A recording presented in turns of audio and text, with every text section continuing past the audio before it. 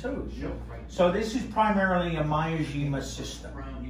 So let's start at the very front. These are the first time uh, Miyajima's prominent loudspeakers have been seen outside of Japan.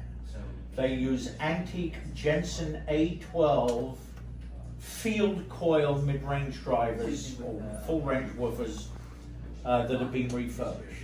They use antique Electro Voice um, compression driver tweeters with also, that's not a plastic horn, that is a resin Electro Voice horn.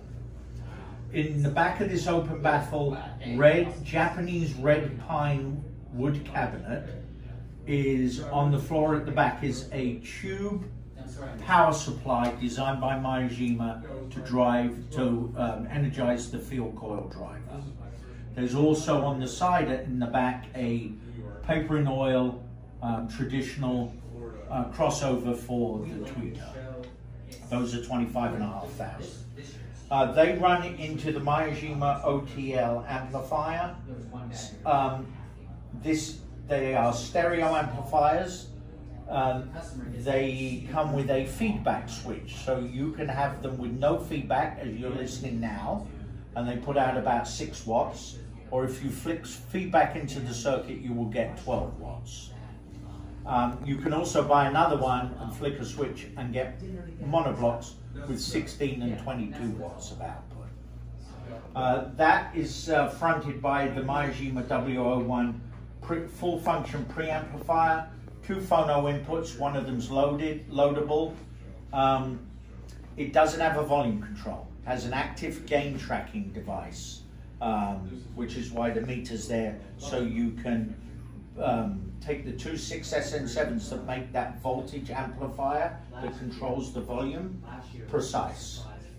Um, into that goes the brand new Miyajima MC2 uh, tube two-stage head amp. I was shocked at how much better this is than any uh, step-up transformer I own, and I own a lot. Uh, the amount of dynamics, detail, uh, and air that this produces is incredible. Obviously, that you can get more noise if you're not very careful with your cabling. Um, it's an active device. Uh, it uses NOS 6922 tunes. Feeding all that is a custom bespoke uh, VPI HW40 drive mechanism. Uh, VPI let me use these for custom tables I design. That is bolted to two inches of um, Pennsylvania slate, so there is zero vibration. If you put a stethoscope on this table, you would hear nothing. That is on top of a um, void-free. I've done that, by the way, on my uh, video, video, channel. I, I, had a mechanic's uh, stethoscope, and that's how I went around to test turntables. Yes, yeah, it's a good tip. Um, the base has all the electronics in it. Uh, those arm boards are bolted to the base through the slate. They don't actually touch the slate. So they're coupled to the bottom Baltic ply base and its feet, but there's no contact with the arm boards. Um, now, very special.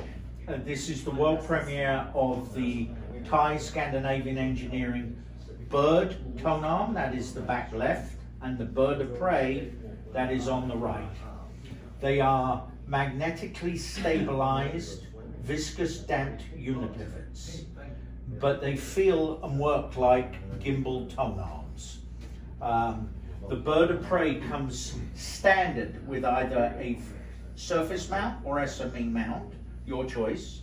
It comes with the 12 inch straight fixed head shell arm wand and the 12 inch J SME connector arm wand, the standard.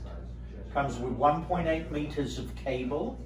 The cable can be supplied single ended, balanced, or field coil, your choice.